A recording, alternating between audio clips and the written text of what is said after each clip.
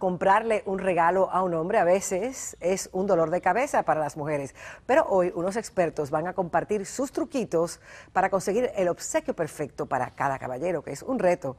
Jacqueline Méndez nos cuenta más.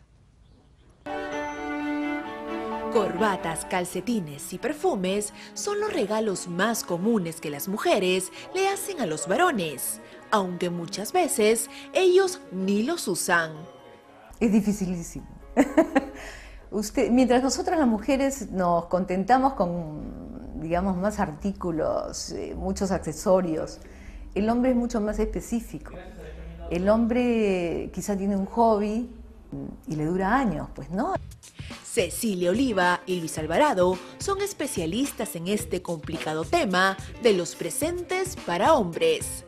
Cuando estás en pleno enamoramiento eres mucho más exquisito en los regalos, ¿no? Igual los hombres, ¿no?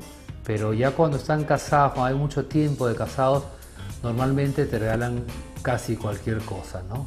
O cosas muy comunes, ¿no? Que encuentras en cualquier lado. Deseando cambiar esta costumbre, los expertos recomiendan. Bueno, es ir, ¿sabes qué? Anotando las cosas que a ellos les gusta. A lo largo del año ya tú te puedes tener una lista simpática de por lo menos cinco cosas que le gustan, o temas, conceptos, y por ahí darle, ¿no? Afirman que los muñecos nunca fallan, y si tienen que ver con la profesión del agasajado, mejor. Además, aseguran que a los hombres les encanta estar frente al televisor. Por eso, proponen un obsequio ideal. Una varita mágica, por ejemplo, que, que es un control remoto universal. Es una cosa extraña, ¿no? Pero muy, muy simpática. Indican que la creatividad es muy importante, por ello siempre se debe apelar a lo inusual. Con esto aseguran que se conseguirán regalos perfectos para ellos. Desde Lima, Perú, Jacqueline Méndez, Telemundo.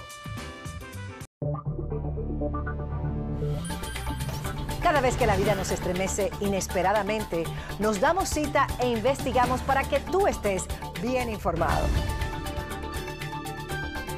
En el Rojo Vivo estamos conectados con nuestra comunidad, con sus necesidades y sus urgencias.